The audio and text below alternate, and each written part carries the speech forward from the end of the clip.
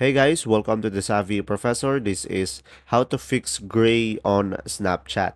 So guys, first thing that you will do is go ahead and open up your Google Play Store and then from here, just go to the Snapchat. And guys, from here, just tap on the Snapchat and what you could try to do to fix the issue is try reinstalling the application. So first uninstall Snapchat and after that just install it back again. And then from there, you should be able to fix the issue. And now guys, if the problem are still showing, what you could try to do now, go ahead and open up a web browser on your device. And from here, just search for Snapchat server so guys, sometimes Snapchat is under maintenance or Snapchat has an outage.